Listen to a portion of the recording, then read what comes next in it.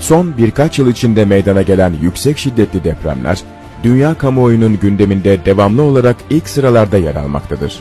Depremlerin dünya tarihinde ilk kez bu denli çok sayıda ve sıklıkta olması, ayrıca şiddetlerinin de oldukça yüksek rakamlara ulaşması, Hz. Mehdi Aleyhisselam'ın çıkışının bir habercisidir.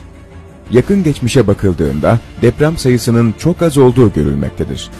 Örneğin Amerika Birleşik Devletleri Jeolojik Araştırma Kurumu'nun raporlarına göre 1556-1975 yılları arasındaki yaklaşık 400 yılda meydana gelen 5 ve daha büyük şiddetteki depremlerin sayısı sadece 110'dur.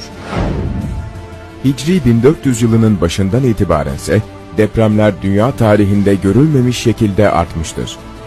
Kuşkusuz ki bu rakamlar Hicri 1400 yani miladi 1979 ila 80 yılının başından itibaren depremlerin sayısındaki artışı çok açık bir şekilde ortaya koymaktadır.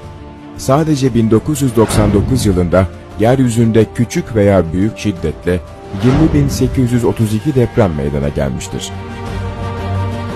Bu depremlerde resmi açıklamalara göre tahmini olarak 22.711 insan ölmüştür.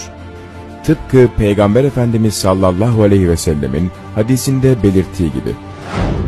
Ümmetimde zelzeleler olur.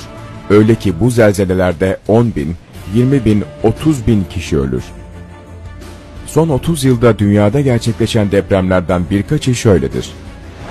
28 Temmuz 1976'da Çin'de 7.8 büyüklüğündeki deprem oldu. 242 bin kişi hayatını kaybetti ve 164 bin kişi yaralandı. 7 Aralık 1988'de Ermenistan'da meydana gelen depremde 20 bin kişi hayatını kaybetti, 500 bin kişi de evsiz kaldı.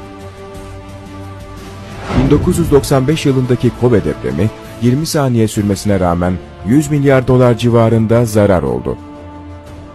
Hindistan'da 26 Ocak 2001'de yaşanan 7.9 şiddetindeki depremde 30 bin kişi hayatını kaybetti, 166 bin kişi yaralandı.